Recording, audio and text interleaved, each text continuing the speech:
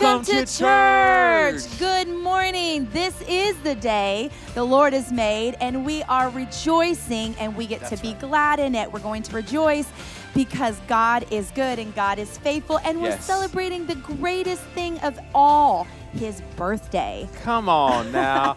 hey, everybody, my name is Pastor Chris Deegan, and I get to lead Harvest Music Yes. Live. This is my lovely bride. Tell them your name. I'm Yolanda Deegan. Right, privileged right. to be. Hey, yes, yes, yes, baby. Look at God, he's so Uh, good. yes. Hey, we've introduced ourselves. Yes. So now? it's time for you to introduce yourself right there in the comment section.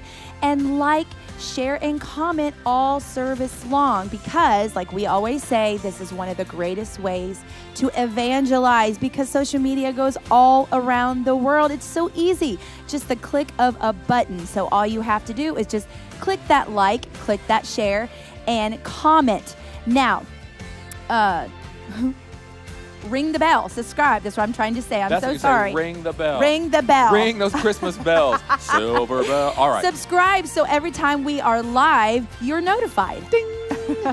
Absolutely right. So you don't miss a moment of what God is doing and what He wants to do in your life That's right. when you join. Amen. All right. Well, it's holidays at the Harv, the most Love wonderful holidays. time of the year. And so New Year's is coming. Yes. And we have a New Year's service Sunday, December the 31st at 10 a.m. We want you to join us as we praise out the old year That's right. and in the new. Amen. Kiddos are not left out. They've got a poppin' New Year's party. That's gonna be awesome. I want to be in the tab and with them for the poppin' New know. Year's party, Right? They're gonna have so much fun. That's right. Well, the most wonderful time of the year, and we've got a video so you can learn more about it. Here we go, and then we'll be right no better place to celebrate the season than Holidays at the Harv. On Christmas Eve morning, December 24th, join Dr. Rod Parsley and the World Harvest Church community for an unforgettable Holy Communion service, followed by tons of festive fun for the whole family. From live reindeer to carriage rides to pictures with Santa and Mrs. Claus, you'll make lots of merry memories. Plus, every family and child will go home with a special gift. Your children will also get to experience a live walk through the Bible, Nativity Edition, where the story of our Savior's birth comes to life, along with indoor snowball fights, Christmas crafts, and more. So make your plans and bring, Bring the the fam! fam! December 24th at 10 a.m. for a Christmas Eve celebration you won't want to miss, only at World Harvest Church. Childcare is available for ages 0 to 5th grade, and for more information, visit whc.life. Now, all these announcements and much, much more can always be found at WHC whc.live. Now, we are going into the tab because service will begin in, In 90, 90 seconds. seconds.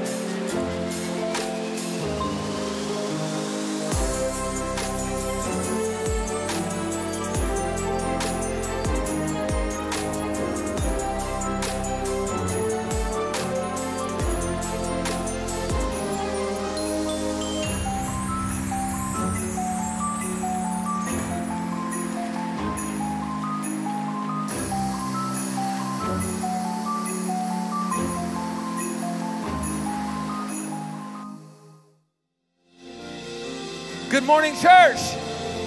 Come on, it's time to bless the Lord together. Here we go. We're going to kick it off with a Christmas song. It's the most wonderful time of the year. Let's go.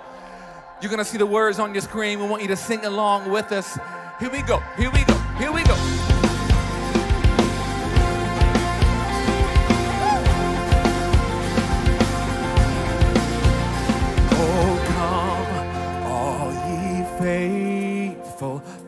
joyful. Come praising. Jesus is born in Bethlehem.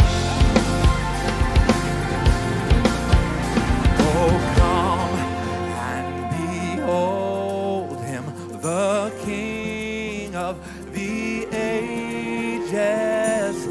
Jesus is born in Bethlehem. Jesus is born. You're glad about it, church. Come on.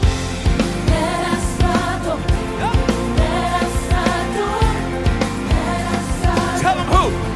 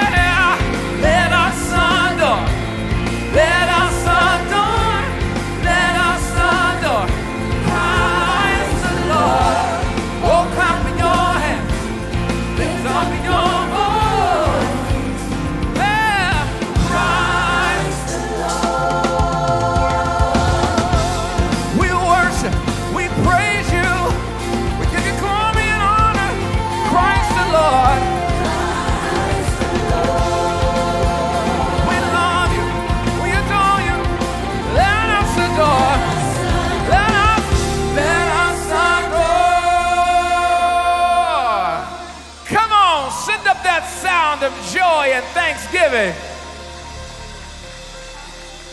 Now, come on, all together.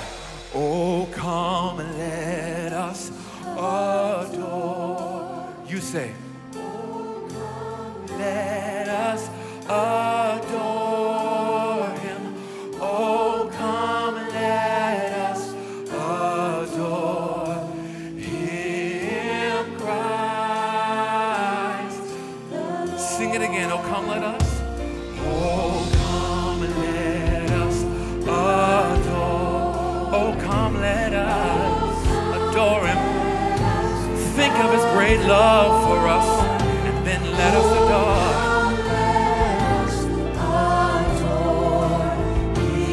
Christ the Lord.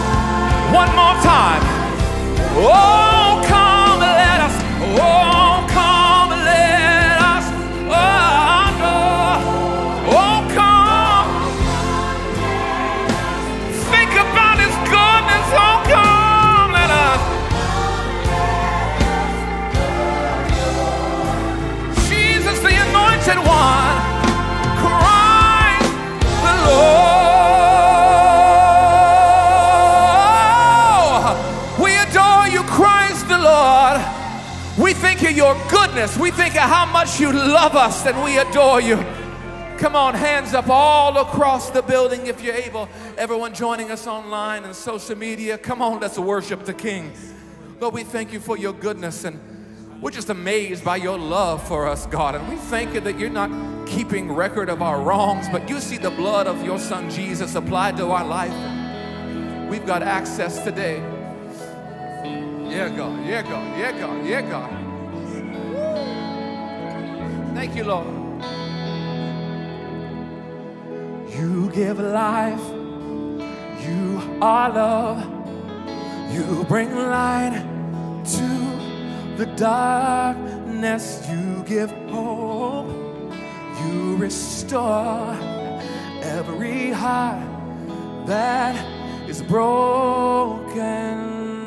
Yes, and great are Lord. It's your breath in our lungs, so we pour out our praise. We pour out our praise. It's your breath in our lungs, so we pour out our praise to you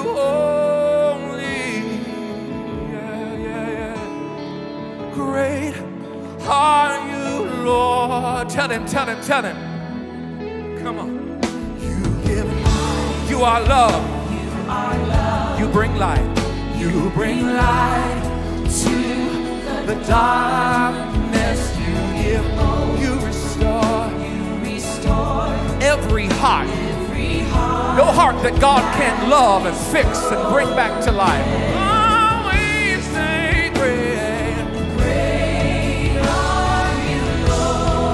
So you know where your help comes from. Lift it up. It's your breath in our lungs. So we pour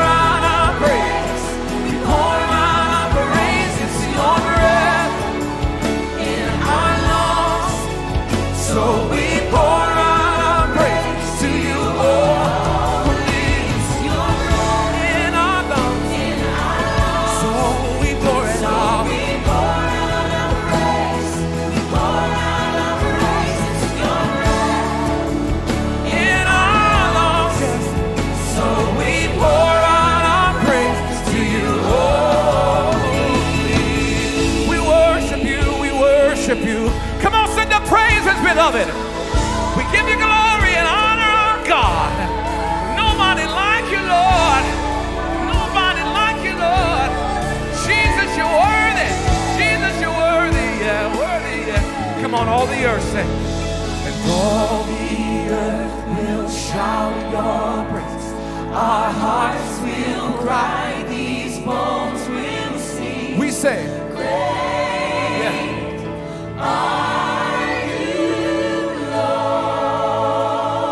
And all the earth say, and all the earth will shout your praise.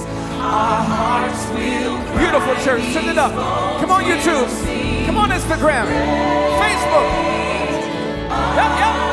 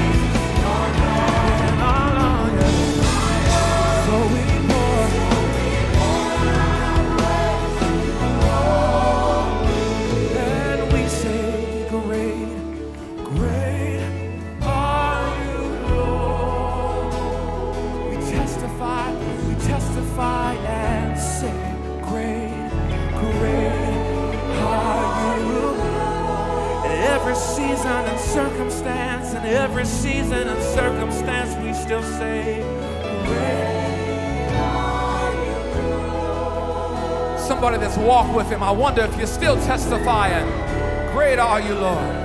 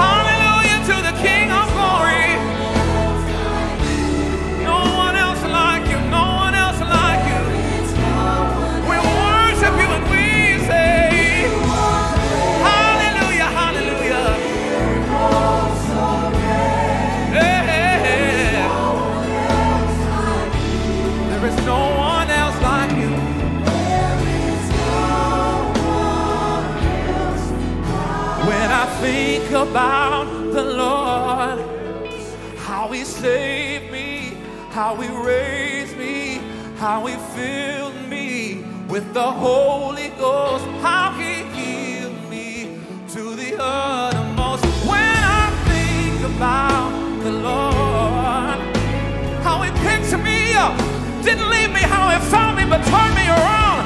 placed laid to my feet, laid to my feet. Yeah.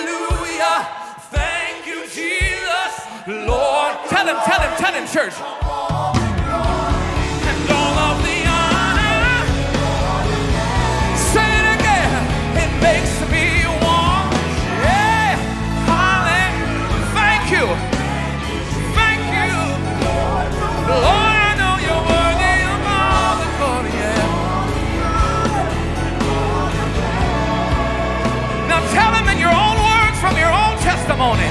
How good he is. How good he's been. Hallelujah to the King forever. We love you. We bless you. We wouldn't be here if it wasn't for your faithfulness. Glory, glory, glory, glory, glory. Oh, hallelujah, yeah.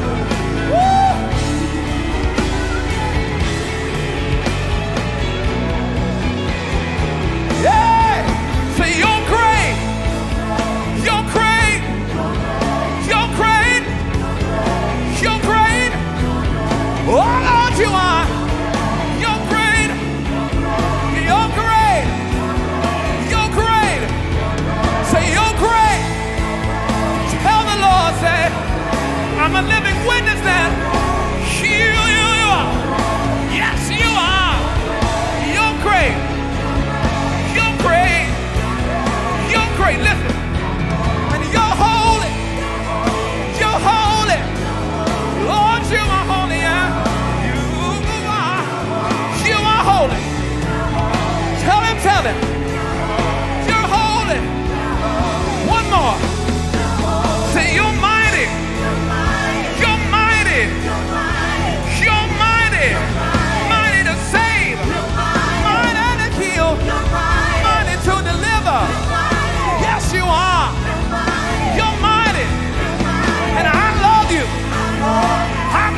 You. I want you. I love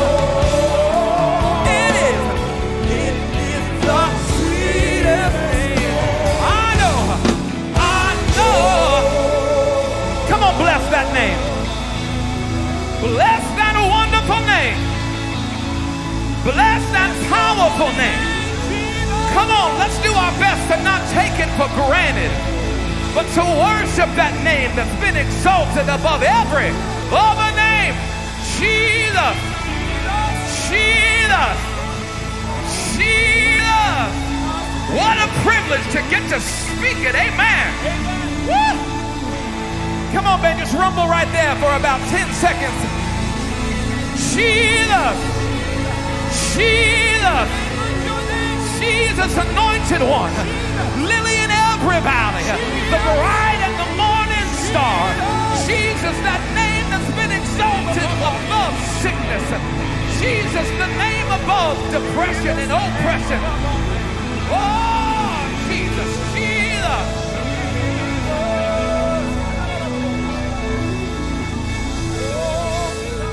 Hallelujah, hallelujah, hallelujah, hallelujah.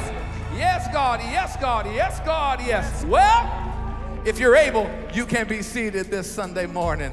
Hallelujah, hallelujah.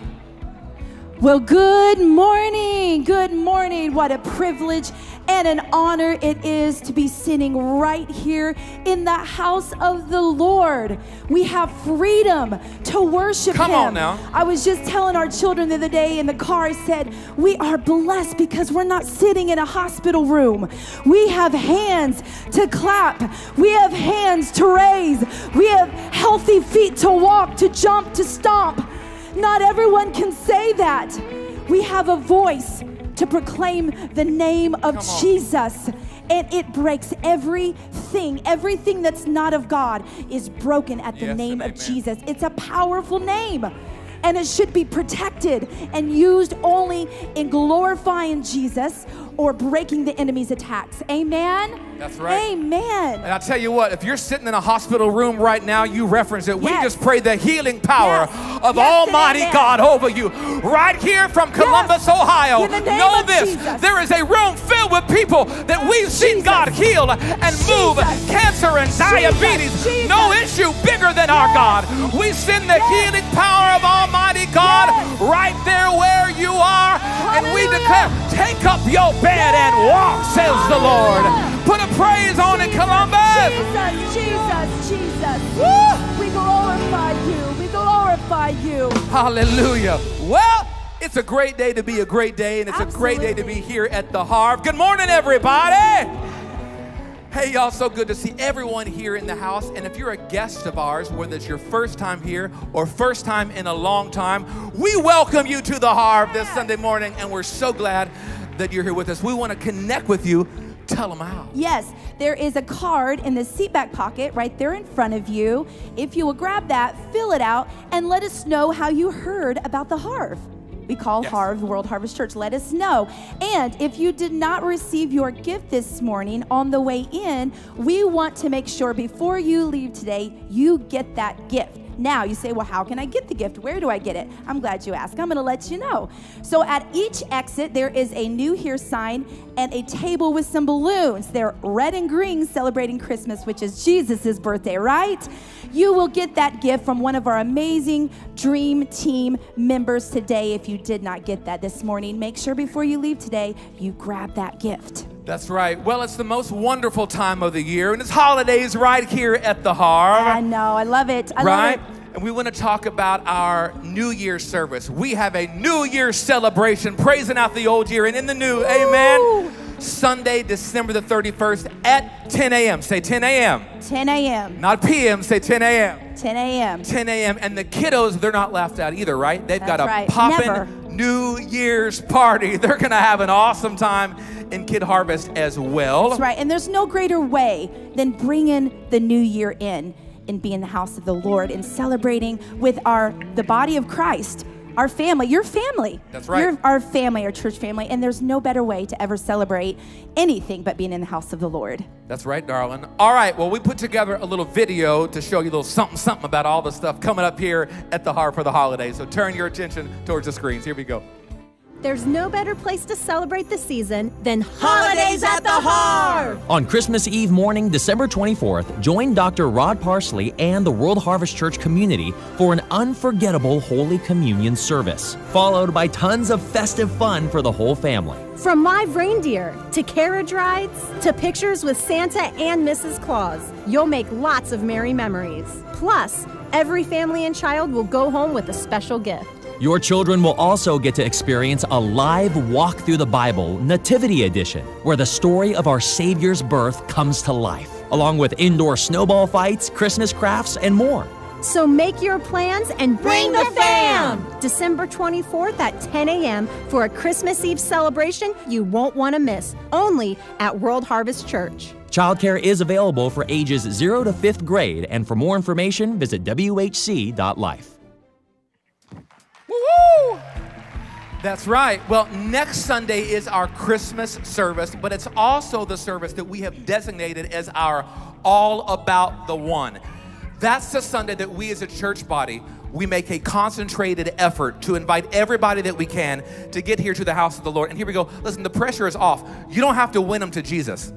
You just right. got to get them here That's in right. the room so Jesus can work on them, right? That's right. So, all month long, we have been giving you tools to help you reach your one. And this Sunday, we have got Vanna show the people. Does anybody remember Vanna White? Is that show still on? Got it. Vanna White. Here we go. So, we've got these boxes filled with Christmas goodies, these Hershey kisses, okay? But in there is a card attached with information for you to easily invite your one, your family, friends, coworkers. You're checking out at the grocery store and you just give that to them and you say, "Hey, I want you to join me if you would please for our Christmas service. It's Sunday morning at 10 a.m. God has changed my life. I believe he can change yours." Amen. Right. That's And in addition to that, we're having all sorts of holiday fun because we've got a reindeer that you can see, we got Santa Claus, we've got Mrs. Claus, we've got a horse drawn carriage. What? So, all these amazing things that you can tell people about as you invite them here to the Harv for Christmas Sunday and That's are all about the one service. And it makes it so easy. You get to give something. Right. And then they all they they get to get uh, to get because they get this little goodies, but then they come next Sunday and they get all the extra things plus the best thing of all, Jesus. That's right, darling. so it's it's a win-win situation. Absolutely. Very good. Those are available in all of our foyers as you exit today. And just saying they're not for you to eat. Again, they're for your one. Amen. Amen. All right. Well, speaking of giving, darling, today is our holiday ham giveaway. Right, right, right. So if you perhaps are in need or someone that you know is in need, we've got holiday hams for you. One for each family for those in need, right? And you can take advantage of that two ways. For those of us here in the tab, at the close of service, you can exit through these doors over here. You'll walk down what we call the Hall of Faith and you can get your ham there and carry it out to your car. Or you can do it what I think is the easy way. You can go to our east parking lot for our distribution out there, and all you got to do is pop your trunk, and they place the ham in your trunk. That's right. Isn't that awesome? That's awesome. Absolutely. Okay, well, I think we've done good, darling. Yes, and if any of these if any of these announcements, you can always go to whc.life and remind yourself of what's going on here at the Harv. Now, our online audience, don't go anywhere. Shaden's going to be right there and chit chatting with you and all those things. That's right, with all those things. it's a lot.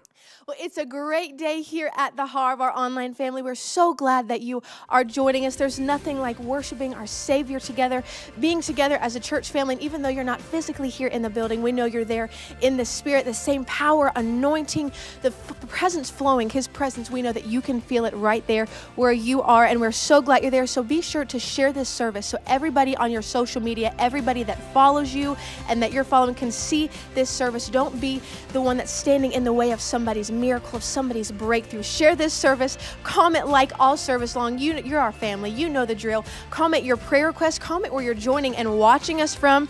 We have some family. It's not called World Harvest for nothing. We have family all over the world. We have Tina. We have Eddie who's saying, Bless the Lord. Great is his name. Yes, it is. His name is so great. We have Joyce. We have Tiffany. We have pastors from all over the world joining us. So comment your prayer request and where you're joining us from. And it's the holiday season, it's holidays at the Harv. So why don't we do something special? Comment your favorite holiday tradition. I know I love Christmas. I think my favorite holiday tradition is probably watching Christmas movies by the fire with my family with a good cup of hot cocoa with the Christmas tree lit. You know, it's classic, but I love it. So comment your your favorite Christmas traditions. We'll share those. I love seeing everyone's Christmas traditions and what different families do. And I have family Christmas traditions that my family and I have done for generations back. And my great grandma did, my great grandparents did. So comment those and we'll, we'll see and compare and have some fun with that. Keep commenting your prayer requests. We want to pray and agree with you. We're family. That's what we do. We pray, we agree, we war together in the spirit, we fight against the enemy together, we're stronger together. So keep commenting those prayer requests where you're watching and joining us from. Let's see where some more family is watching and joining us from. Let's see, we have family from Kentucky and Indiana. We were in Kentucky last weekend. We might have been close to you. We have a family from Indiana. I was born in Indiana, fun fact, and so is my mom. People from Canada, family from Canada, keep commenting all over the world. We're so glad that you're here. Share this service, like, all service long. We have an audience participation preacher who wants to hear from you. He can he can hear those comments. He loves when you're commenting. So keep commenting. Comment your holiday traditions, your prayer requests, all of the things. We're so glad that you are still joining us.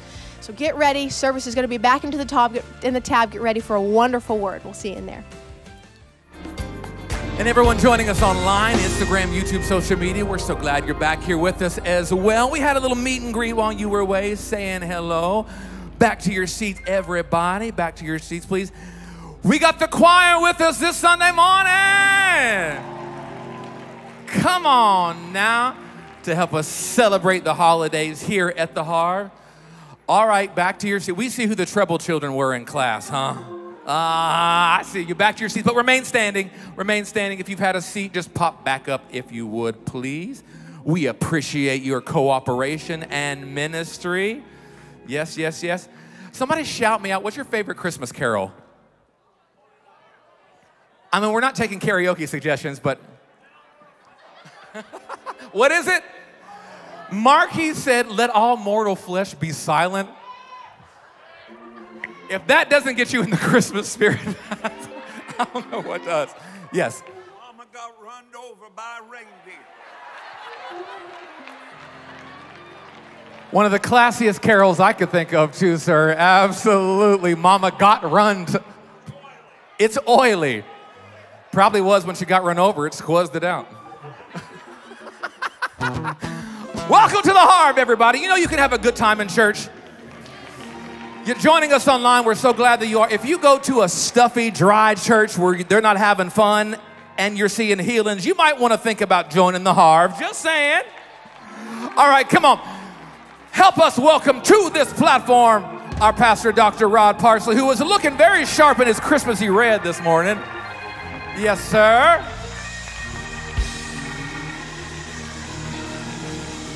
I thought we had a choir song first. After after. I love you, choir. We miss all our valor students, though, right? They all went home. I don't know why. They won't let me have a vote in that thing. They let these young people go home for about 17 weeks. That's the truth. That's what it feels like. Sure of course, they're gone three days from me. It feels like 17 weeks. It sure is good to see y'all. Even Dixie over there on the front row looking good this morning. It's wonderful to see you. Are you having a great season? Are you enjoying that rain? I think it ought to snow. Let's just lift our hands and pray for about a foot after service today. you may be seated. Well, look at your neighbor and say, I'm so happy to give my money to the kingdom of God. To the kingdom of God.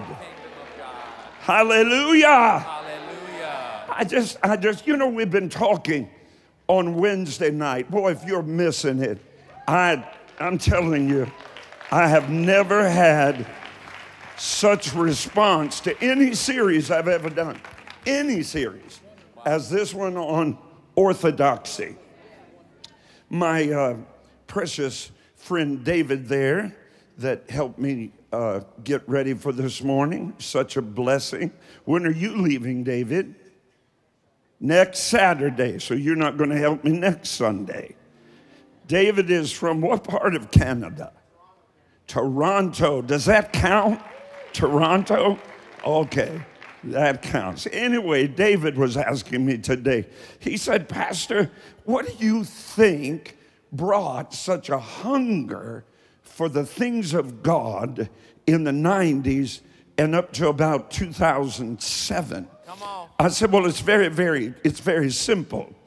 God gave a mighty visitation in the 60s, about from the mid 60s to the mid 70s. It was twofold. Number one, it was something called the charismaniac, I mean, charismatic renewal. And uh, so many people were a part of that Roman Catholics and Baptists and Episcopalians and all the other aliens, and everybody just got born again and baptized in the Holy Ghost. Now, that was at the same time as the Jesus movement. Anybody remember the Jesus? If you can't remember the Jesus movement, you can't remember one of the most glorious times in the body of Christ. Young people were getting baptized by the tens of thousands every day. And I mean, they got it. They didn't make a decision, they had a conversion.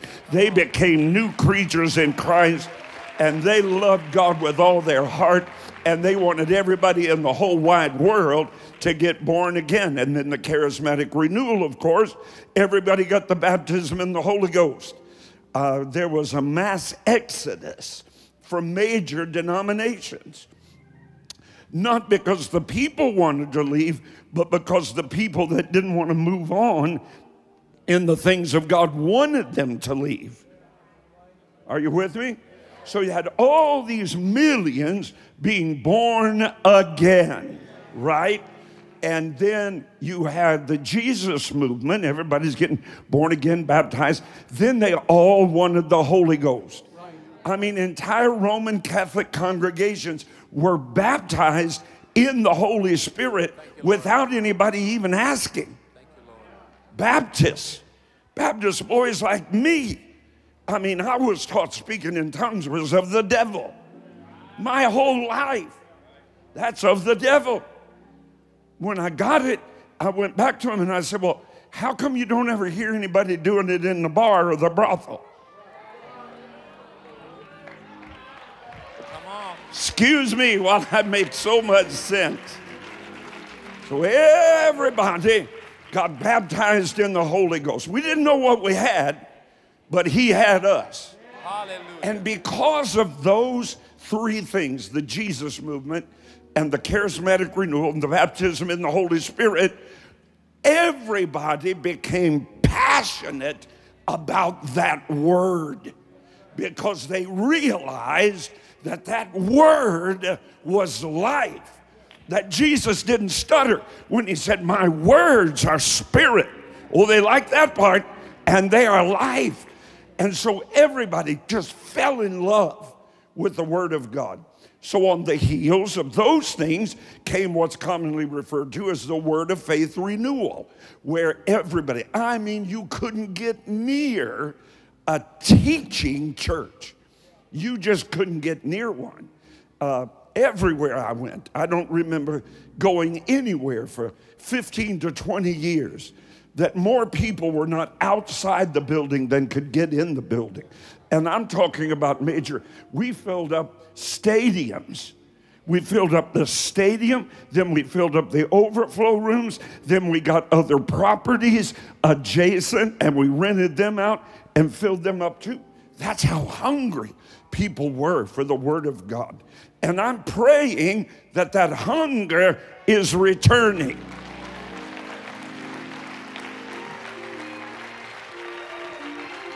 I'm praying, God, give us that hunger back. Where Yes, we'd God. rather Yes, be God. in church than any place in the world. Amen. So, anyway, that's why I started into this teaching on orthodoxy, right and correct opinion, right? Based in rational, traditional truth. To know what we believe and why. Are you with me? I mean, it's one thing to say, I believe something, but it's another thing to have that faith rooted and grounded, grounded in the unshakable, undeniable, irreplaceable, inspired, God breathed living word of the Almighty God. Now, you've got that. You've got a hold of absolute truth.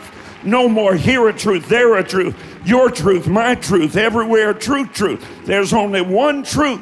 John 17, 17. Father, sanctify them, set them apart, distinguish them, make them differently made.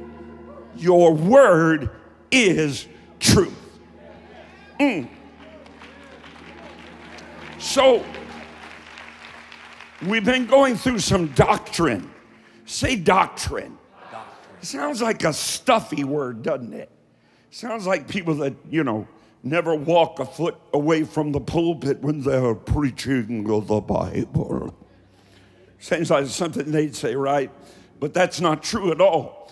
Doctrine is a belief or beliefs, the system held and taught by a church. In other words, we have the doctrine of sin. We have the doctrine of righteousness. We have the doctrine of salvation. We have the doctrine of eschatology. We have the doctrine of Christology. We have the doctrine of pneumatology. And we have a whole lot of those. And I just want to look in on a little bit of one of them.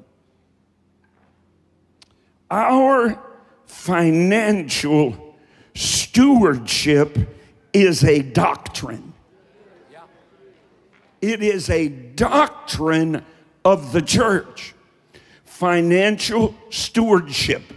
Do you know that there's only one other subject in Matthew, Mark, Luke, and John that Jesus talked more about than money?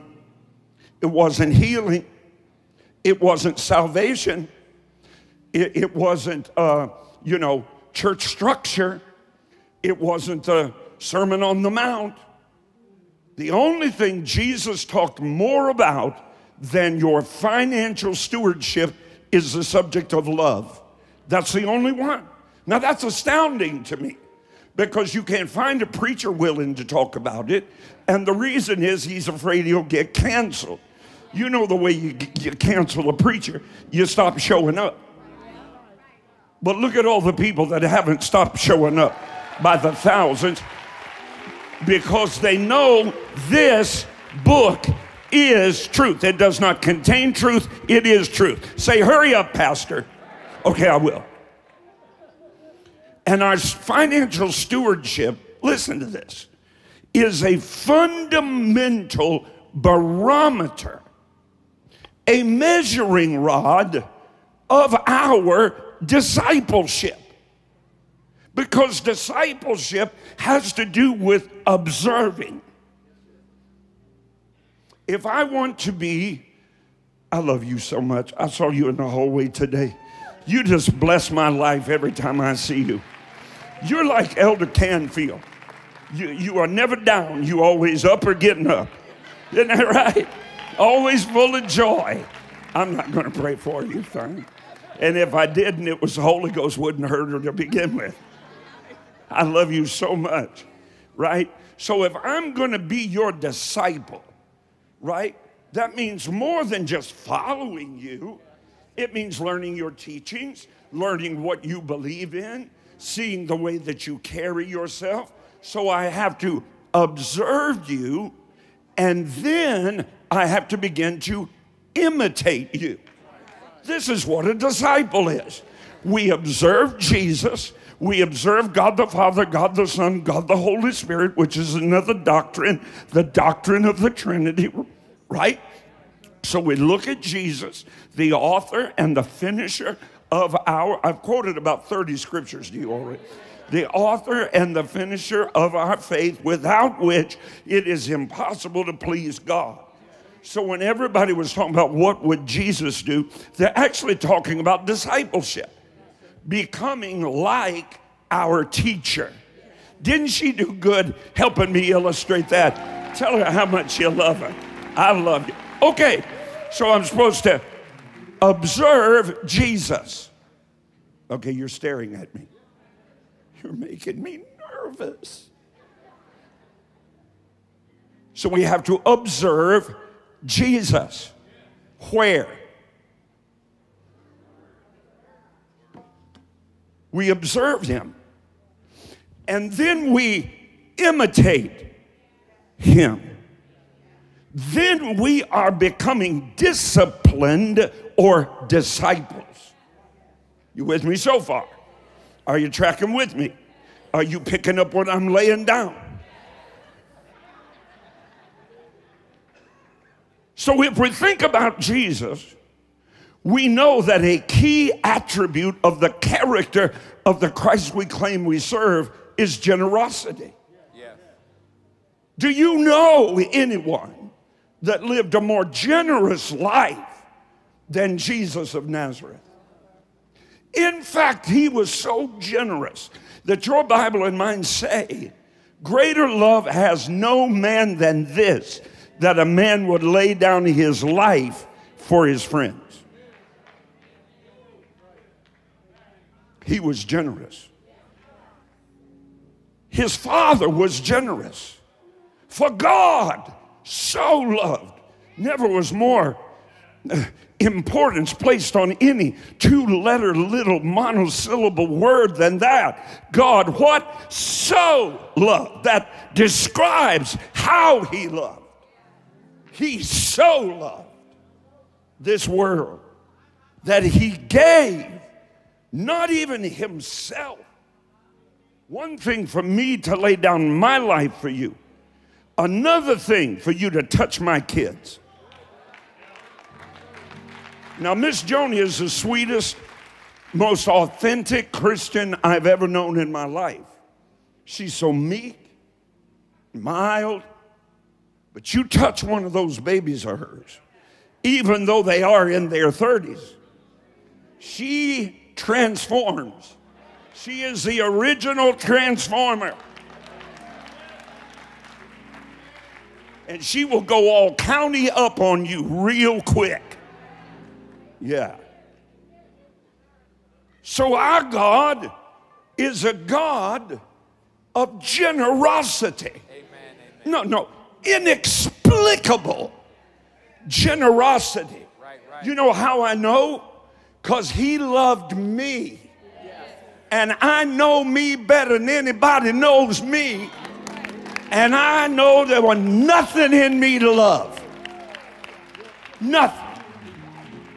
And he died for me, suffered, bleeding, by which the very veins of God himself were emptied out in bloody pools beneath his toes on the earth that he himself created. You talk about generosity. Look at those fine clothes you have on. He's a generous God. If you don't do, believe that, walk out as I often do, very early in the morning while the stars are still up. That's God saying, how do I love thee? Go ahead and try to count the ways. And if this is what it looks like on this side, that's the floor of heaven. Imagine what the whole place must be. He's a He's a generous God. Look at you. You look well fed. Some of us a little more than others. I didn't get this way looking at it. Right? Do you know if you have a bed, a bed, and if you had to decide which pair of shoes to put on today, and if you have some food in a refrigerator somewhere.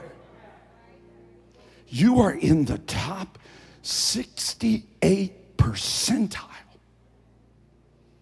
the top 70% of the world's wealthiest people on earth today. My, my, my, he's been generous with you. We talk about giving gifts at Christmas time. How about this one? Romans 6:23. For the wages of our sin is death, but the gift of our God, gift, the gift wrapped up in flesh and bone called Jesus of Nazareth. That gift is eternal life through Jesus Christ our Lord by what he gave. He's generous. I've discovered a thing. You know, at one time we had over 500 employees. Still at this point, we have 250 or so. We're not building buildings like we did at that time. But I've noticed something. I've noticed that staff are much more generous spending money when it's not their money.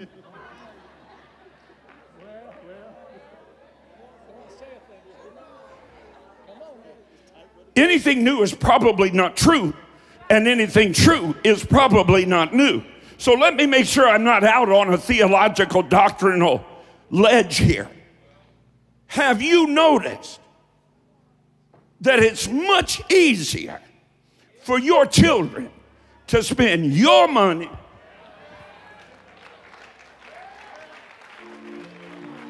You all are not at all in the Christmas spirit, I can just tell. Now, Lord, forgive all those who are angry today as a secondary emotion that they have gone out and spent good, hard work for money on people they don't even like. Now, for, forgive them, Lord, for getting in that shape.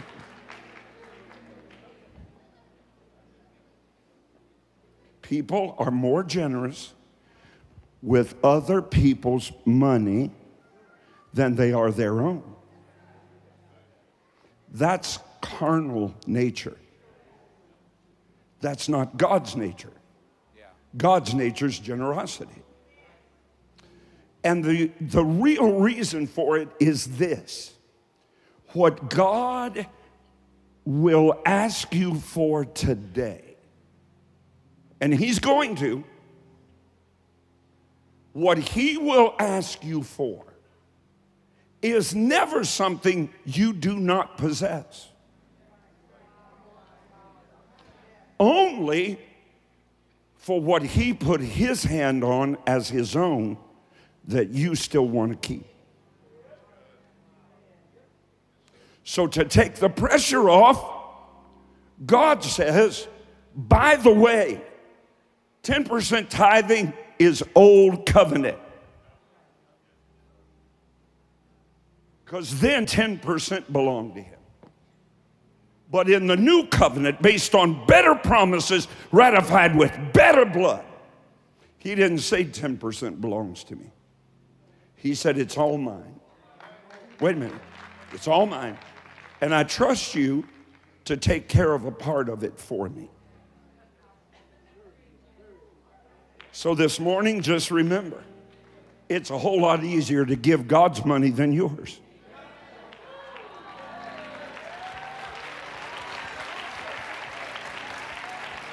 If you really, really, really believe, as I do, that it's all His, that I didn't do anything to get it, and I can't do anything to keep it except bless Him as a disciplined disciple of Jesus and express His generosity.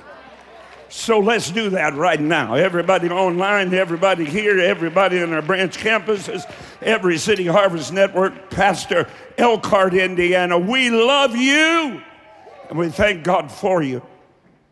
So we're going to give our tithe, 10% of the sanctified gross income, because that's just an act of obedience. God's miracles manifested by what he does when you obey. Is that true? All right. Does it all belong to him? So why don't we take a minute and ask him what he wants? You know, you, you've asked everybody, right? You asked your kids, what do you want for Christmas? Have you asked Jesus? That's good.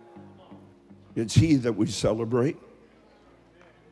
It's he that this season is supposed to point our hearts toward. It's his work that we should be concerned about. Hallelujah. I said, Hallelujah. Hallelujah. Father, we just ask you now, what offering would you desire? With what can we praise you, Master, for all that you've done for us? We will give our tithe in obedience. But Father, we want to give an offering this morning. We want to bless you. We want to be like you. We want to be generous. So just speak to every heart, everywhere under the sound of my voice. Would you just speak to them right now? What you'd like for them to do to advance your kingdom and bless their lives. In Jesus' name, amen. You know, those wise men, they had a plan, didn't they? They followed that star for three years, left their homes, left their livelihoods, left their kingdoms, left their families, and followed a star for three years for one reason to give Jesus a present. And they were wise. How many of you want to be wise? All right. So let's do something extra. We've asked for everybody that's of a willing heart to help us do all of our holiday outreaches and help us get 150,000 meals to the Horn of Africa, which are already on their way there. All we have to do is pay the bill, and we will in Jesus' name. Amen. So we ought to look for people to bless less fortunate than we are. And so we want to help those starving mothers and children in the Horn of Africa, in Ethiopia, and Somalia, and so forth. So we'll be doing that. We've asked everybody to add at least $25 a week. When we started, it was four weeks away. It's closer now.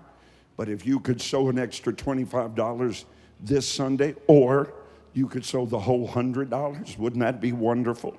My family and I are sowing an extra $100 every week during this period because we certainly know that it all belongs to Jesus, so we ought to throw it at his feet. So be blessed as you give, and may the God of all comfort comfort your heart and give you joy in Jesus' name. Amen. All right, the information is all around there on the screens and so forth. And we are going to be delighted by the choir. Yes, sir. Now y'all need to y'all need to do real good because all the Valor students that would be up here at home watching you. So smile real big and let them know you can do all right. You can do just fine. Amen. Here's Pastor Chris, World Harvest Church Choir.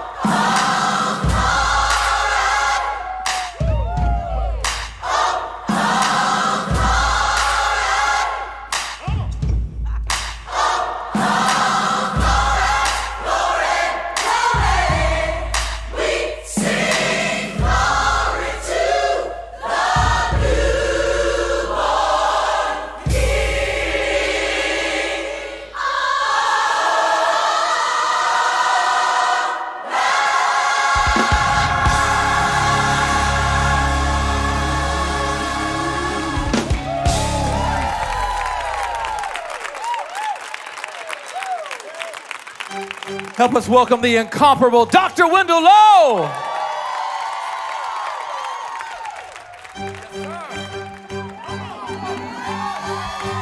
You never seen a miracle. You about to see one right now. Everybody stand on your feet. Come on, let's bless the Savior. Joy to the world. The Lord is come heaven.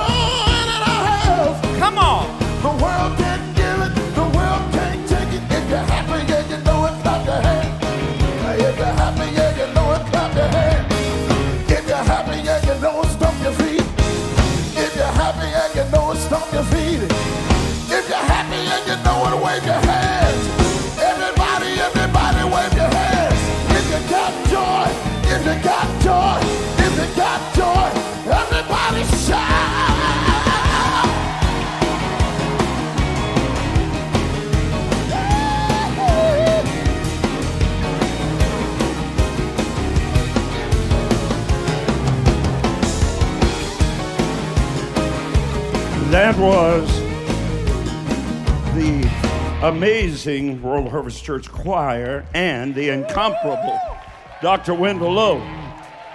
You may be seated. Now, what, what y'all don't know, what y'all don't know, Pastor Chris, bless his heart. Yes, sir. He had worked so hard and gotten everything prepared for today.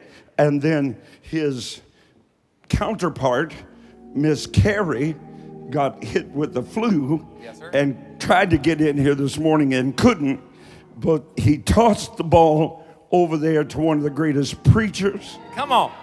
the greatest Hammond B3 organist, and a singer extraordinaire. And he was willing, have never done that song, Right. to jump out here and do it. So tell him one more time. He's got a great, big, generous heart. Amen. Woo, we love him. Are you ready? I want you to say these words the gospel, the gospel of promise.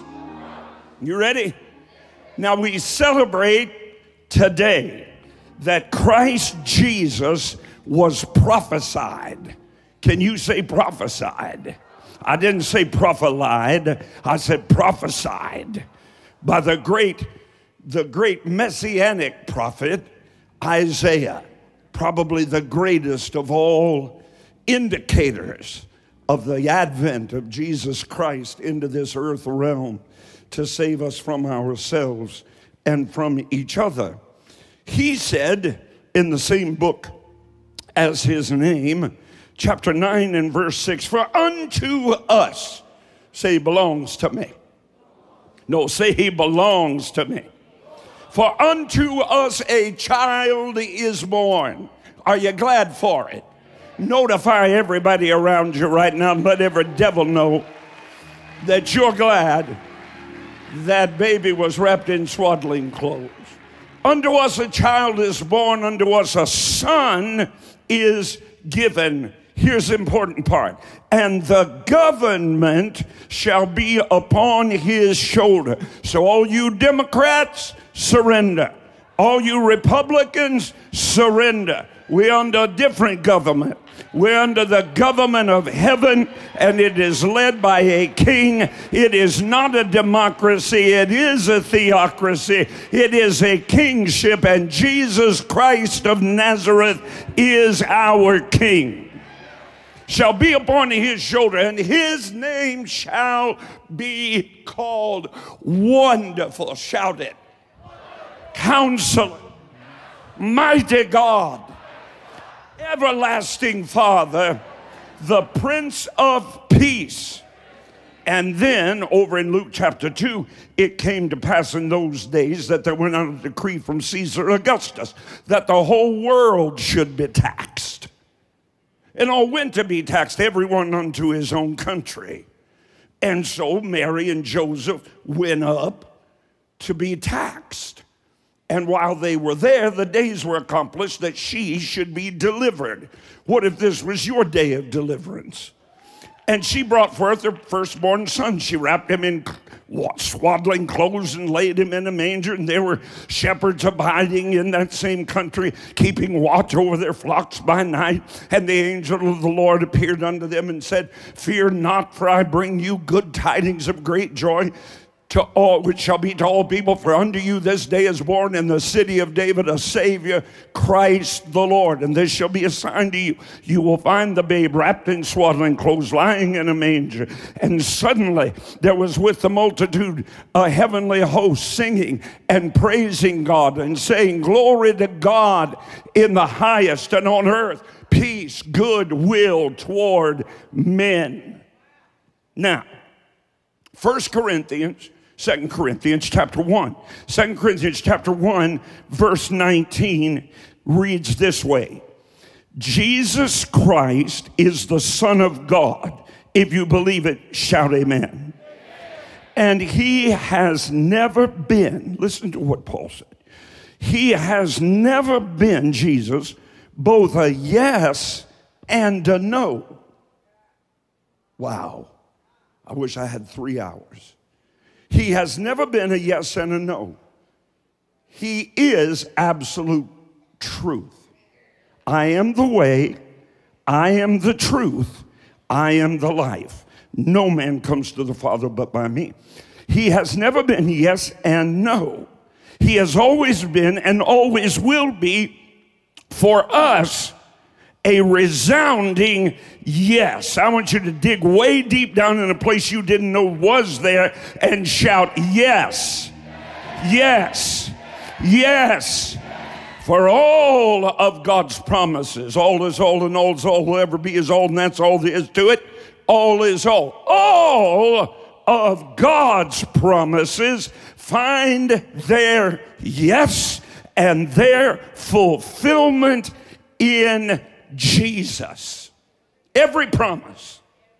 Every promise. So, folks that want to tear two thirds of your Bible out and throw it away, called the Old Covenant, certainly have never read the New Covenant. Because the New Covenant was in the Old concealed, and the Old is in the New revealed. So, there they are. And Jesus is our yes. In him, Jesus, is all fulfillment as his yes. Now, watch this. And our amen. Say yes, amen. Say yes, amen. Not yes and no. Yes and amen. Yes, and so be it.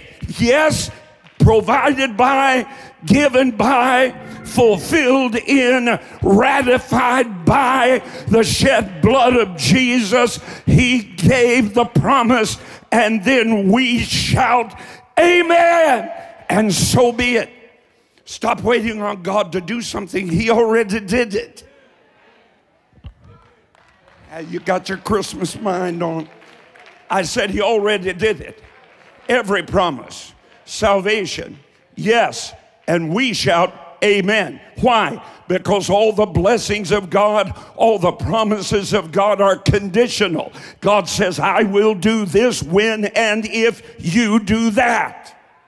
But if you're not going to do the that, then He cannot do the this because he forever surrendered his right to act independently in your life. In Genesis chapter 1, verses 26 and 27, let us make a man in our image after our likeness and give him, the man, dominion in the earth.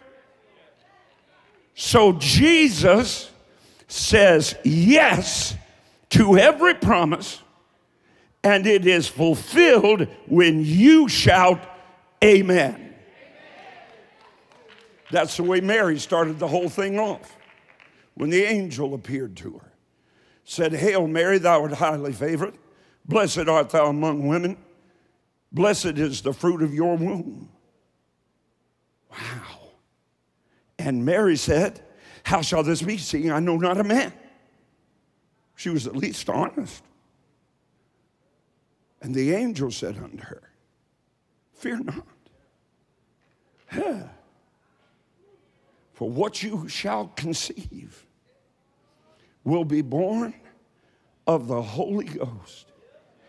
And Mary said, Well, if that's the way it's going to be, be it unto me according to your word. Say that right now. Be it unto me. Talk to God now, according to your word. Every promise Jesus gave. Do you know that Jesus was born of the lineage of David according to the flesh? Jesus had to come from the line and lineage of David. And he did. Read his genealogy. He came directly as a descendant of the line of the tribe of Judah from King David. Hallelujah. All of the promises of God in the Old Testament and the New Testament were ratified, fulfilled by the Lord Jesus Christ, and every single one of them are available to every single one of us today as a result of His covenant blood. Your season of doubt, your season of sorrow, your season of trepidation, your season of heartache and fear and heartbreak is over today. There are seven, and I'm going to go fast. There are seven of these promises given to King David, ratified by Jesus. And I want to alert you to this very strategic moment. We are only 14 days left in this calendar year. It is the 17th of December.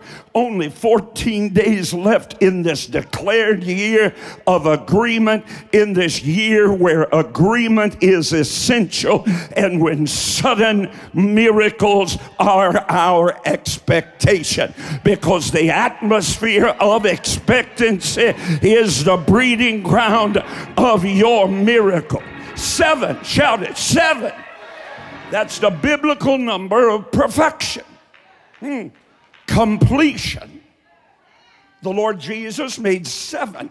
You ought to get my series on it because you still think He said, My Father and my God, why have you forsaken me? He never said that. How could he have said that and at the same time say, I'll never leave you? Get the series. While he was on that angry, mean, biting beam, he spoke a mere seven times. Statements bolted there between heaven and earth. Last words are important. Hmm. You have a loved one that passed? You remember their last words to you? I do. Jesus' final words are forever, forever etched on eternity's canvas and forever engraved with the flaming finger of the Holy Spirit on the fleshly tablets of our hearts. The, they were these It is finished. And all the saved people said, to that promise, amen. You're catching on. Three English words for one Greek, Andrew, accounting term, tetelestai. Not simply that something has come to an end, but that a debt has been canceled completely, fundamentally, and permanently stamped, paid in full. Nothing broken nothing missing, nothing lacking. Man, I'm preaching better than you're shouting. After Joshua, who had been appointed by the living God as the successor to Moses, led Israel to obey the Lord's command and marched seven times around the walls of Jericho. The walls came a tumbling down. Naaman the leper was told to dip seven times in the Jordan, and he came up, and his flesh was like a baby's. What I'm explaining to you is that seven brings victory. And the language of defeat is silence, and the language of victory is shouting. The language of clapping is authority. So today, you and I, we're going to come into absolute agreement to receive all seven of these extraordinary promises from the most often quoted verses of the Psalter. You know, your Bible contains not only the model prayer, the Our Father, which art in heaven, hallowed be thy name, thy kingdom come, thy will be done on earth as it is in heaven. Give us this day our daily bread, forgive us our sins as we forgive those who have sinned against us. And let us not fall into temptation, but deliver us from evil. For thine is the kingdom, and thine is the power, and thine is the glory forever. But it also contains the prayer book of the Christian church. That's the Psalms or the Psalter. God's inerrant, ever living, life giving word must become the foundation of our praying and of our very lives. What amazing grace! Think about it. What amazing grace that He, without beginning of days or end of life, gives these most profound and powerful prophetic and poetic words, whereby you and I can speak to Him in absolute perfection and profound assurance. Somebody shout, Blessed assurance. Now I'm going to declare them over you. And I want you to remember these are the decrees of Jesus, and they need your amen. They are the law of the king. Grab every one of them with bulldog tenacity and unshakable faith. Here we go. Promise number one divine presence. Look at Psalm 23 1. It begins with this statement of unwavering confidence. The Lord is my shepherd. This is the living God Almighty sworn guarantee for you and for me that we will always and forever abide in His holy presence. The sheep depend on the shepherd's watchful eye and perpetual presence for their safety from every adversity and every from every danger and every difficulty. The shepherd alone will lead them to abundant pastures of comfort and care. In my many, many travels to the ancient land of Israel, which you should be praying for right now. I saw many, many, many flocks of sheep on virtually every hillside. But I never saw a flock of sheep without a shepherd. The Lord Jesus Himself identified Himself as the good shepherd in John chapter 10, and He did it for a reason. He who never sleeps, he who never slumbers, is permanently, personally present with us. He is the Parakletos, the one called alongside us to help. I heard a preacher one time, he thought he was preaching, but he wasn't. He said, You all better obey the law. If the speed limit's 55 and you go 56, Jesus jumps out where would he jump out to and from? He fills all.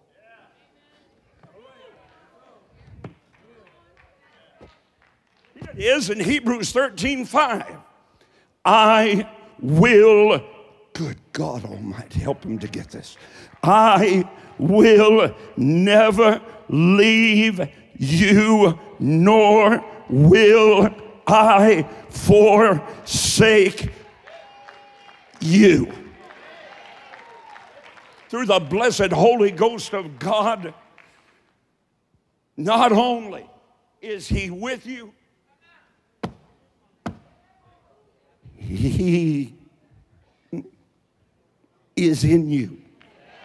That self same spirit that invaded the borrowed tomb of Joseph of Arimathea, raised to life again. The three day dead body of the Prince of God is now resident, personally present within your mortal body. Here's that promise. John 14, 16. I will pray the Father, and he will send you another comforter, one exactly alike in every essential detail and quality, that he may be with you forever, even the Spirit of truth that the world cannot receive. Shout, thank God I'm not the world. Shout, He lives in me. And He will remain in you. I, I can't help it. I need to tell somebody. 68% of Americans are on antidepressants. I got to talk to somebody. I got to talk to somebody. I got to tell you, you are never single mom, lonely unmarried adult, only person in your family that knows Jesus. You are never alone. You are never abandoned. The very God that stretched out the heavens and the earth walks with you, lives in you. He is Jehovah Shammah, the God who is eternally present with you. Providential promise number two is this. Somebody shout provision. Psalm 23, this is all in Psalm 23. Psalm 23, verse 1, part B, is one of the greatest and most boldly emphatic de- declarations of faith in the entirety of the 66 books of your Bible. Here it is. I want you to grab a hold of it. I, I'm not worried about somebody else, I shall not want for any good thing. I shall not want for companionship. I shall not want for joy. I shall not want for hope. I shall not want for blessing. I shall not want for a family. I shall not want for an automobile. I shall not want more of God's presence on my life. I shall not want more anointing. I shall not want somebody shout. I can almost hear the sweet psalmist from chapter 34, verse 10 the young lions do lack and suffer hunger. But they that seek the Lord shall not want for any good thing. Let me just take a minute and shout God is a good, good Father. That's who He is. That's who He is. And I am loved by Him. That's who I am. That's who I am. Shout, it's me. Matthew 7 11. I like that. 7 11. That's my son's birthday. Matthew 7 11 prophesies that God Himself meets our needs. I thought I heard an amen to that promise. If you then, here's what He said, being evil, know how to give good gifts to your children, how much more will your Heavenly Father give good things to those that ask Him? You better hear this preacher today. It has never been, nor is it now, God's plan nor purpose for any of his children to live lives of deprivation and want. Get that out of your mind. The old song said, Every need he is supplying. Plenteous grace he bestows every day. My way gets brighter, and the longer I serve him, the sweeter he grows. The more that I love him, more love he bestows. Each day is like heaven. My heart overflows. The longer I serve him, the sweeter he grows. The bondage of lack. Ugh, I, I don't even like to say it. The bondage of paycheck to paycheck. The bondage of going to bed sad and getting up depressed the bondage of it all is part and parcel of the curse of the law. Now, you get this. It is not because God's failing to provide for his children. What kind of God is that? You let your children go hungry? Oh, I know you believe in a God of just enough. We must never ever be timid nor reluctant to ask. In fact, Jesus commanded it so in John 16 24. Until now, you've asked nothing in my name, but hereafter, whatsoever you ask the Father in my name, he will give it you that your joy may be full. Jesus didn't stammer, he didn't stutter, he said it without hesitation. Ask and keep on asking. Seek and keep on seeking. Knock and keep on knocking. Peace is Jehovah Shalom's promise number three, Psalm 23 2. He leads me beside still waters. Hey, now, that'll make a thirsty, tormented soul just shout, Oh how we desperately need the Holy Ghost peace in this post COVID, weirded out, wicked, whacked out world. Peace.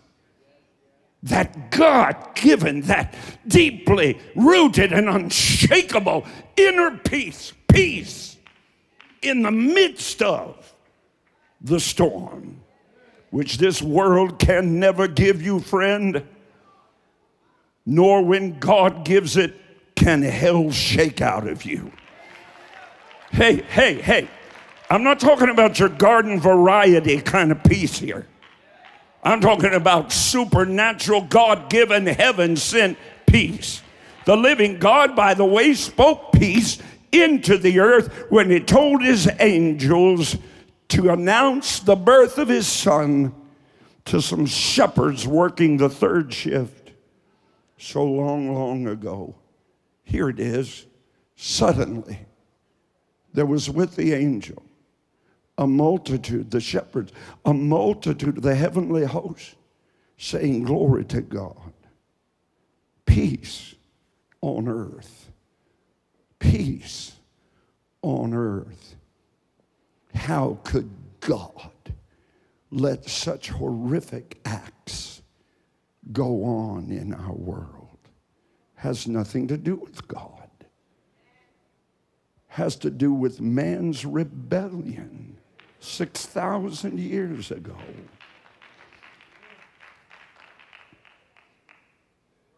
It's always been available. That kind of peace since angels sang happy birthday. And shepherds showed up to see if it was true to every troubled soul today, Philippians chapter 4, verse 7. The peace of God, which surpasses all understanding and comprehension, keep, guard, garrison your hearts and minds in Christ Jesus. That's why I never worry when storms may come my way. I know that He is near to drive away my fear. So I can smile and say, I know the peace speaker. I know him by name. I know the peace speaker. Controls the wind and waves. And when he says, Peace be still. They have to obey. I'm so glad I know the peace speaker. Mm. I know him by name. We used to sing it this way peace, peace, wonderful peace coming down from the Father above. Sweep over my spirit. Forever I pray in fathomless billows of love. Number four, protection. Shout, God's got me covered. Psalm 23, verse 4 I will fear no evil. Some terribly sad and misguided folks believe that God's simply indifferent, disinterested to humanity, to our plight, to our everydayness. That God is just a mystical higher power who wound the world up like a clock and then stood back to see what would happen. My dear brother, my dear sister, our God is actively, intensely involved in every aspect of our lives spirit, soul, and body. How could you read stories like Abraham in Egypt, Jonah in the belly of the great fish, or Daniel in the lion's den, or Jesus passing through a crowd intent on stoning him. How does that not make it obvious to you that the living God protects those who put their trust in him? There is no question evil exists.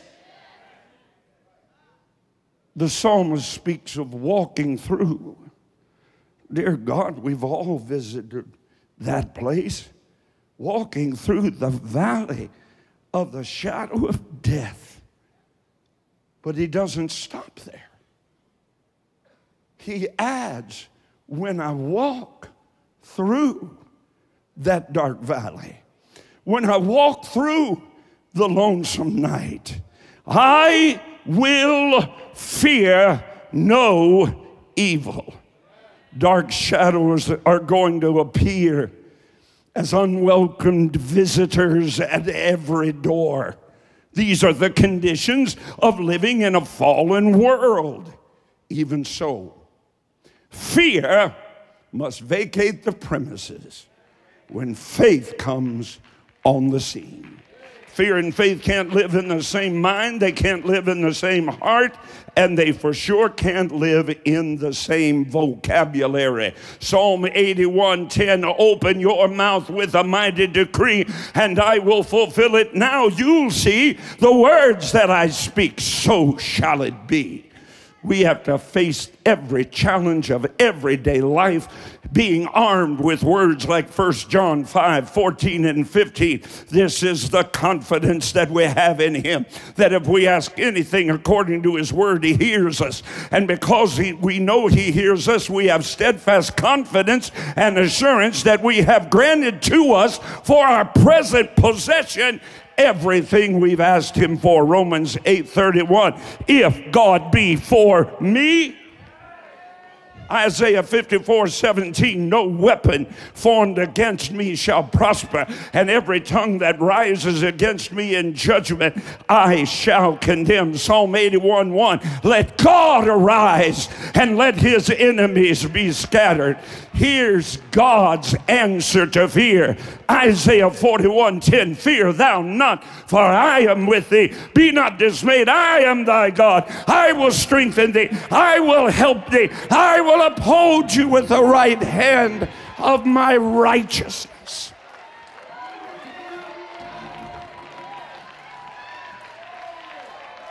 Ah, where are we? I got to hurry. Four is the promise of omnipotence. It's the Almighty's promise of power. Psalm 23, verse 5.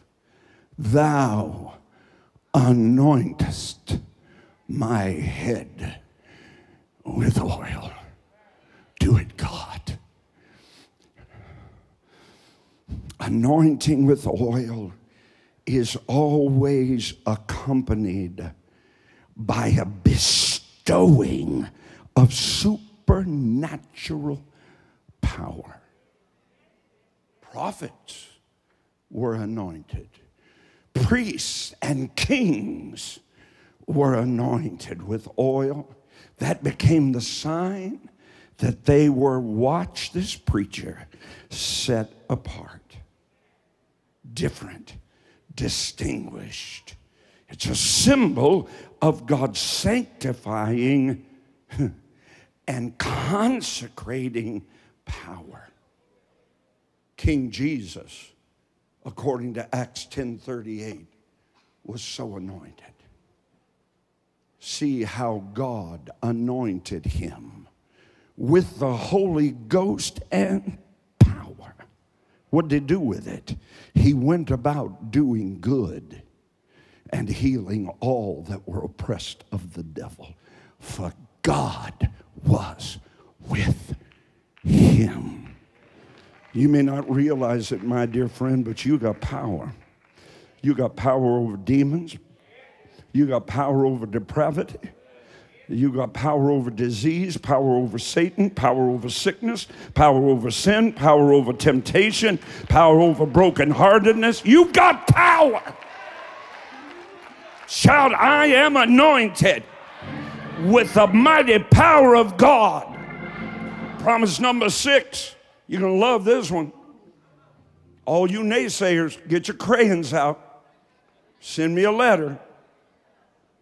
Post how much you don't believe it so I can block you. Promise number six watch my word prosperity. It's the final phrase of Psalm 23 5. Nobody dreamed it up. Here it is My cup runneth over. What a revelatory picture of true abundance.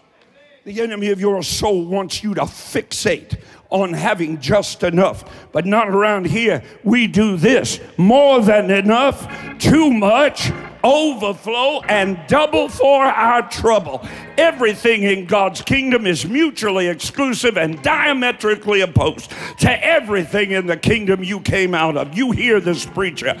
God's principle is never just enough because there are always those who don't have enough. So, how are we going to reach the Horn of Africa with 150,000 meals? How are we going to save another 15,000 babies at the women's clinic? Fill my cup, Lord. If I wasn't so dignified, I'd go, fill my cup. I was a little old boy when he'd sing that song. Fill my cup, Lord.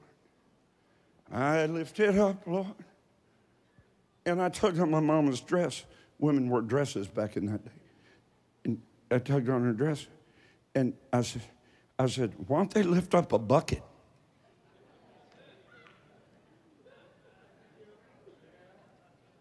I mean, I was only eight, but I figured God get a bucket just as easy as a cup. Then I found out later you sow a cup, you'll reap a bucket. You sow a bucket, you'll reap a wheelbarrow. You sow a wheelbarrow, you'll reap a barnful. You sow a barnful, you'll own the county. God wants your cup to run over. He gave us that command that produces overflowing abundance in one profoundly prophetic verse in Luke 6 38. Give, and it shall be given unto you. Good measure, pressed down, running over, shall men give unto your bosom. For with the measure you give, it shall be given to you again. Number seven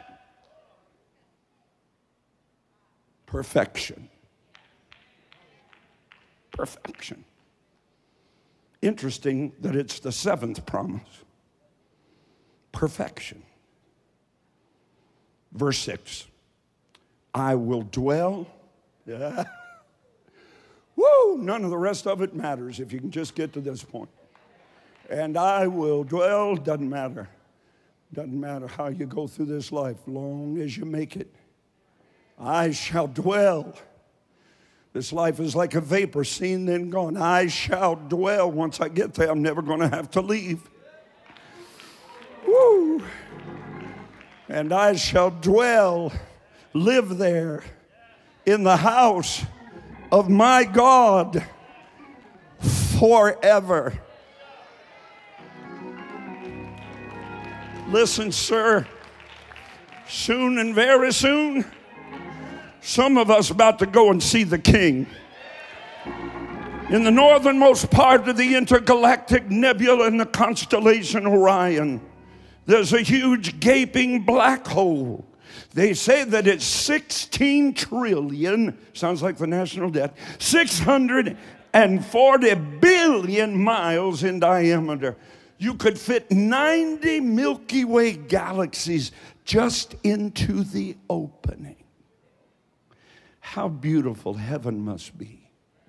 Mount Zion, in the sides of the north, the city of the great king, the abode of God, that place of the eternal throne of our Creator and loving Savior. Here it is in Jesus' words. You believe in God, believe also in me. For in my Father's house are many mansions. If it were not so, I would have told you. And I go to prepare a place for you. And if I go to prepare a place for you, I will come again and receive you unto myself. Get this line that where I am, there you may be also. That's perfection, my dear saint. That's perfection. Beat our plows and wep- beat our swords and weapons into plowshares. Study war no more. God Himself wipe all the tears away from our eyes. My great God in heaven, amen. Soon and very soon, we'll be leaving here. But I don't want you to be confused about it. It, it really won't matter if the gates of heaven are made of wood and swing on leather hinges. Won't matter if the mansions are nothing but cardboard shanties. If there's mud in the streets knee deep. If King Jesus is there, it will be heaven for me. Every head bowed, every eye closed, everyone standing. Everyone standing, every head bowed, every eye closed. If you get a little wobbly, just grab a hold of the seat in front of you. Hallelujah. Well, all seven of those promises belong to you. But remember what I told you in the very beginning? Jesus says they're yes to you, but he's waiting on your amen. Be it unto me, as Mary said, according to your word. I know that there are several. I feel it. Here in this room, a multitude watching live around the world, nearly 200 nations. Across the vast City Harvest network of churches, over in Elkhart, Indiana, right here in this room. You don't have that peace, that blessed assurance that if Jesus comes, or if you should die, you know, we don't look for death, but it's been looking for you since your first breath.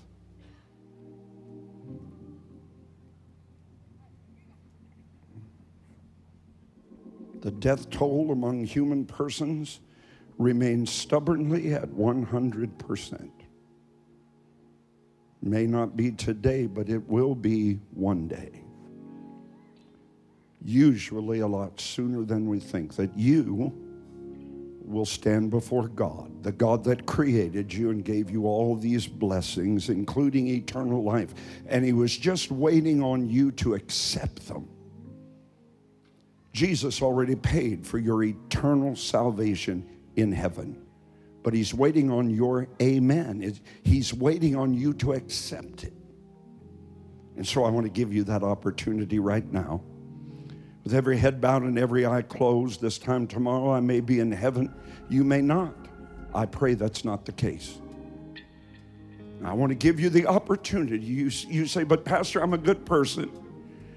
You can stand in a garage, but it won't make you a car. You can go to church, it won't take you to heaven you have to accept God's only begotten Son as the price paid for your sins and be reconciled to God through Him by accepting Him as your Lord and Savior. I want you to do that right now. No one can do it for you. Do it right now. Make the decision you'll be really glad you made on Christmas morning. He's waiting. He shed his blood. He died on the cross. He raised from the dead. He's just waiting on you to accept it. Won't you do it now? As I count to three, when I say three, raise that hand. We're going to pray. If you're watching online, type in the word save, S A V E, as thousands every week do. We're going to pray together at the end of that prayer. You'll be as sure for heaven as if you were already there. This is it on three. Raise that hand. One, two, three. Leave it up. One, two, three, four, five, six, seven, eight, nine, 10, 11, 12, 13, 14, 15, 16, 17, 18, 19, 20. At least 20 here in this room. Those of you online, remember, type in S A V E. We'll send you literature. We'll pray for you. Everybody, as loud as you can, join in this mighty chorus of saying yes to Jesus Christ. Heavenly Father, Heavenly Father, I come to you just as I am. I ask you this day to forgive my sins. give my Come into my heart. come into my heart. Give me eternal life. Give me eternal life. Satan, I renounce you. Self, you're no longer in control. I accept, believe, and confess Jesus Christ as my personal Lord and Savior. I'm on my way to heaven, and it feels so good to be forgiven. I could almost just clap and shout. And I'm no longer a slave. I am a child of God. I am a child of God. One more time, sing it out. Everybody. And I'm no longer a slave to fear. I am a child of God. Say, I am a child of God. You're glad about it? Shout Come amen. on, give him a great big hand clap of praise this morning. Yes, Pastor sir. Chris has some instruction for you because everybody wants a holiday ham. Yes, sir. We'll get there in just a moment. First, we've got our series on Wednesday nights Orthodoxy, what we believe and why. Amen. It's foundational. We need it, it's a blessing. And you, we want you to be a part of it. So, listen, we have supplemental textbooks, as we call it, available. It's Revival If and Culturally Incorrect. Thank you, David. Both of those books for only $20 in the East Foyer today. For those of you joining us online, you're not left out. We've got that for you available at whc.life. Get it, be reading it, and come hungry in the tab or online with us. You're joining us online, social media. Don't go anywhere because someone is coming with some information just for you. Amazing service. What an amazing word. That's a word that you need to share with everybody that you know. Those seven points, so powerful, so amazing, so easy to understand, yet so powerful and so just incredible. So rewatch that service, rewatch that message, send it to everybody you know how powerful that is. Well, I'm so glad that you're still joining us. You're our family. We're so glad that you're still here. Be sure to keep commenting your prayer request. We'll pray and agree with you. Share this service. Don't be the one to stand in the way of somebody's miracle. Share this service. Even though it's over, you can still share it and people can rewatch it and see it. Be sure to do that all service long. And if you made that decision, uh, made that decision, if you just prayed that prayer, made the best decision you will ever make, prayed the, the best prayer you could ever pray to make the Lord your personal Lord and Savior. We celebrate you. We're so happy for you, and we have a gift for you. It's a book called New Direction that will get you in the right in the right start, the right track of where you're going in this new place of life. You can just click the, the link in the comment section. We'll send that right to you. It's been a wonderful day here at the Harv. We pray that you felt the Lord and been so blessed as blessed we, as we've been here. God bless you. It's holidays. Have a wonderful holiday season, and we'll see you right here Wednesday night.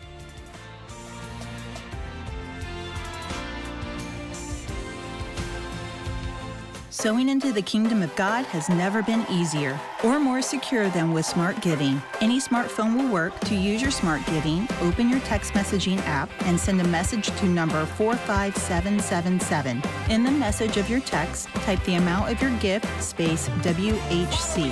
If it's your first time giving, you'll receive a secure link to set up your account. Select your home campus, enter your giving method, and where you would like to receive your instant giving receipt. If you already registered, the process is the same. Just send a text message to 45777, type the amount of your gift, space WHC. You'll receive your receipt immediately. If you prefer, you can also sow online at whc.life or by phone or mail. Just call the number on your screen or send your gift to the address displayed. Anybody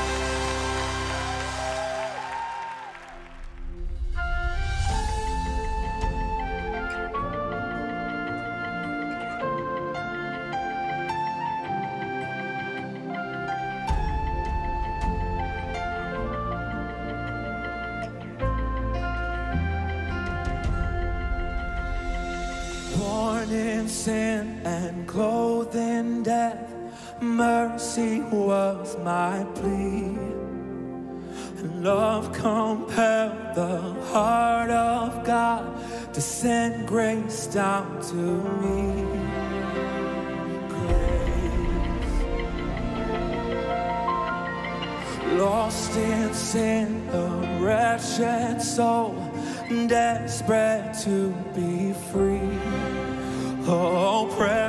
precious one, God's holy Son, grace went to Calvary. Ah, grace. Grace, powerful grace, grace that restores and rescues me. Grace, powerful grace, I sing the song of the.